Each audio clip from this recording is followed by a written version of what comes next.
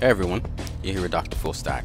So the first thing you want to do is head over to your Twilio account and make sure that you have your credentials saved somewhere where you can remember. So here I'm going to save my account credentials.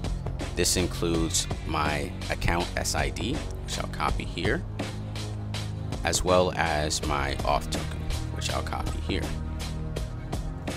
Lastly, you could copy this phone number, but if you have multiple phone numbers, you may want to copy a different one. I'm just going to copy the phone number I have here for Twilio. Awesome.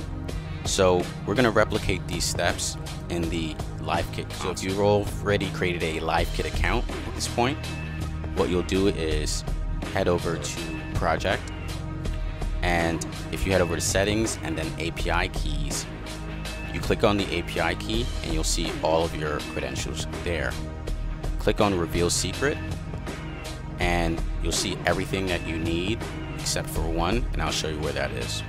So paste these three credentials somewhere safe. We're talking about your LiveKit URL, your LiveKit API key, and your LiveKit API seer.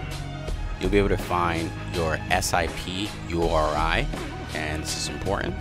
So save that somewhere safe Head over to OpenAI, head to your OpenAI console and save that somewhere safe as well so that you're able to build your voice AI agent as we have. If you already have a MongoDB account, then that's awesome. If you need to create one, then you can. If you want to persist data that is not necessary for this, those are the credentials that I'm utilizing.